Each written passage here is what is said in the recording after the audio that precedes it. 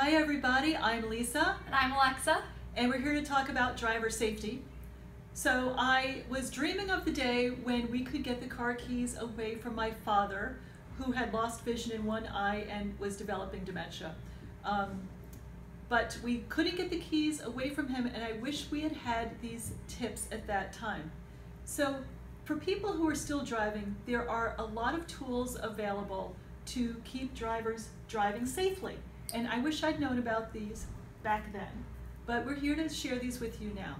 So if you're driving and you're in advanced age and you have some health conditions, these can help you, or if it's for your parent, these might be helpful.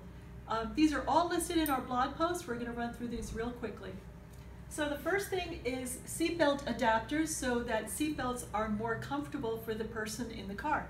Number two, hand-controlled accelerators and brakes.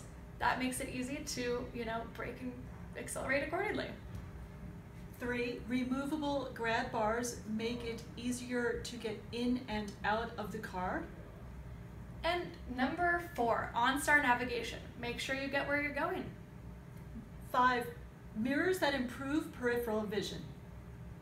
Number six, swing out seats. This is great for ease of getting in and out of the car, and if you're a caregiver, it can help you transport in and out of the car successfully.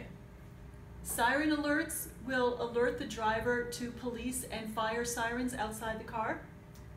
And bioptics for eyeglasses, make sure that you can see well.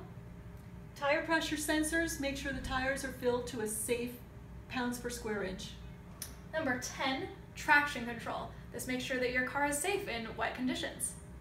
Backup cameras, standard on most new cars. And seat cushions give you extra height and extra comfort. And also feet pedal extensions give a shorty person extra height too. Exactly. So these are some 13 tips for driving safely. We have more information on our blog and you can find the link below. Also, the AAA has a program called CarFit, and in our blog post we have a link where you can look up upcoming CarFit driver safety programs in your state. Have a great day, everyone. Again, I'm Alexa. And I'm Lisa. And we hope you enjoy our blog. Thank you.